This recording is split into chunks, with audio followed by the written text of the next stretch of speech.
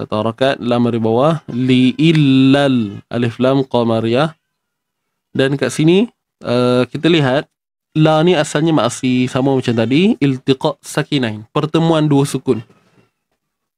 Huruf alif mat ni jumpa dengan dengan apa? Huruf sukun kan? Huruf lam yang mati tu. Ha, jadi kena gugur sukun yang pertama.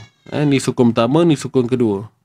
Tak boleh baca kan? Sebab bertembung dua sukun jadi gugurkan sukun yang ini. Maka bacaannya illal balagh. Illal bala illal illal.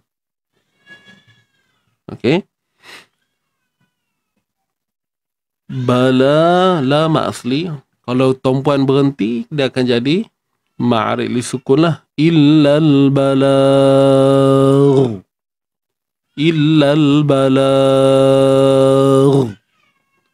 macam mana nak tebalkan ghain kena angkat pangkal lidah dan pastikan uh, makhrajnya tepat lah. Boleh? Ha, tu kalau berhenti. Kalau kita sambung. Illal balaghuwa.